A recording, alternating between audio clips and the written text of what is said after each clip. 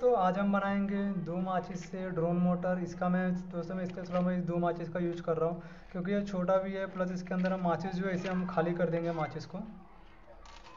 हमें इसका ज़्यादा लोड नहीं चाहिए तो मैं ये ट्राई करूँगा कम से कम, ये तो फ्लाई करे करके तो इसका मैंने माचिस खाली कर दिया, ये मैं खाली इसके अंदर डाल दे रहा हूँ।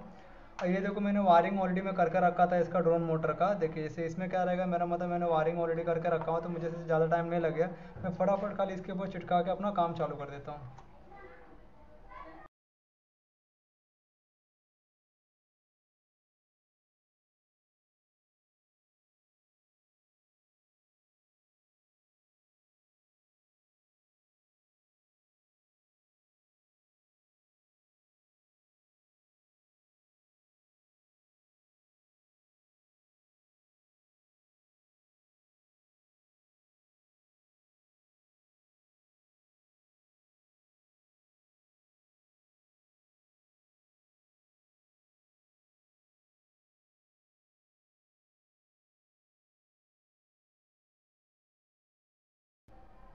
हम जब चारों ड्रोन चारों ड्रोन मोटर जब जोड़ देंगे तो हमें ये ट्राई करना होगा मतलब देखना होगा कि मतलब इसकी पंखड़ियाँ आपस में लड़े ना।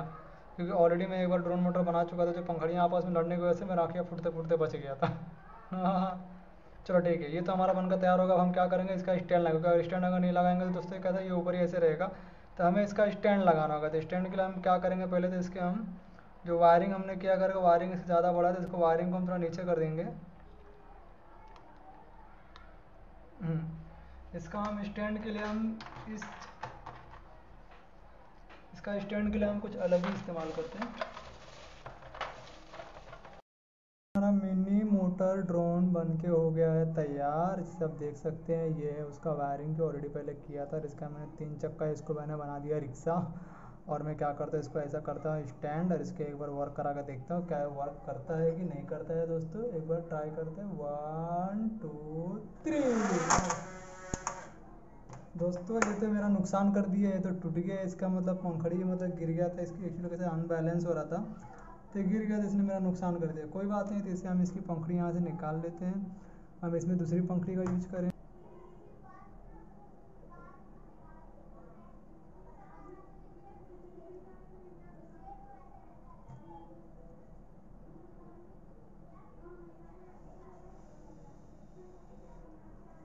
इसे हम वापस से इसके ऊपर लगा देते हैं।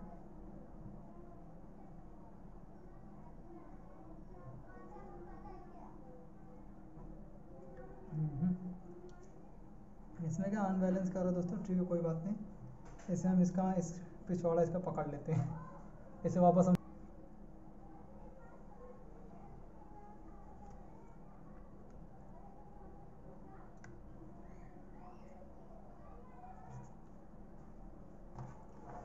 इसे हम एक बार और वर्क चालू करके देखते हैं।